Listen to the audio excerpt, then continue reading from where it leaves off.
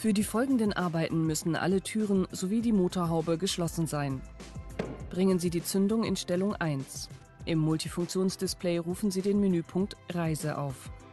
Drücken Sie die Taste Zurück und das Fingernavigationspad gleichzeitig für ca. 5 Sekunden.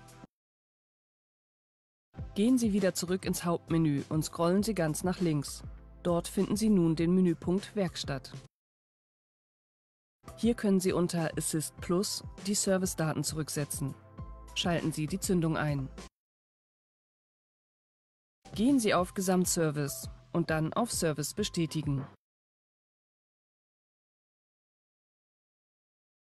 Wählen Sie die Qualität des verwendeten Motoröls aus und bestätigen Sie den durchgeführten Service.